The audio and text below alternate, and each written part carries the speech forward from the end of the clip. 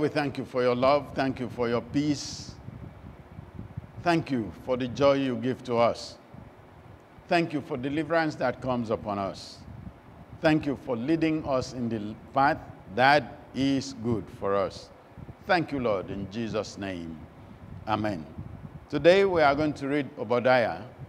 Obadiah, verse 17. Obadiah is one chapter. We're reading verse 17. But on Mount Zion there shall be deliverance, and there shall be holiness. The house of Jacob shall possess their possessions. I think we like the first part and the last part, but these are three different things put together. Number one, deliverance. God comes to deliver you. The Spirit of God, the power of God, all of it is targeted on you to deliver you from the hands of wickedness. The cross of Jesus, Jesus died on the cross so that you might be delivered from the power of sin.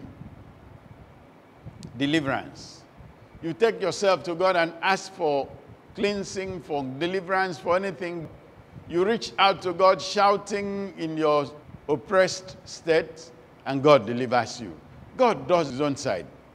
He delivers you unconditionally. God does not give a condition for deliverance. All of what you do is get to him. That's all. There is no condition whatsoever. God does not deliver you because you are holy. God delivers you in spite of your sinfulness.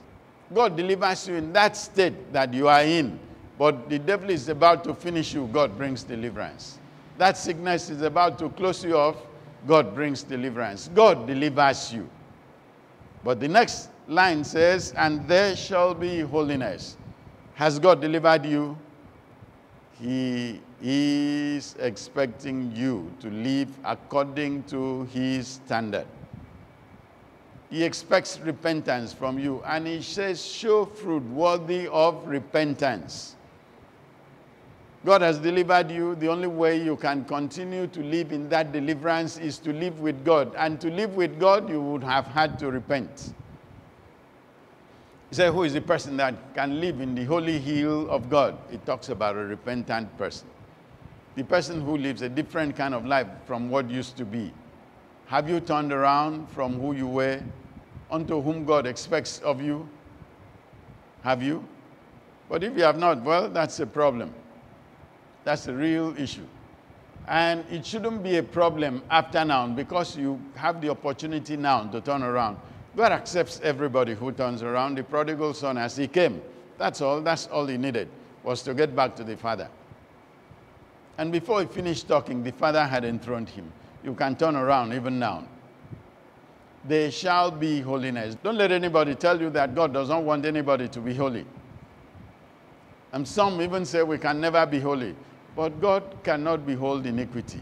And the scripture clearly says, without holiness, no man can see the Lord.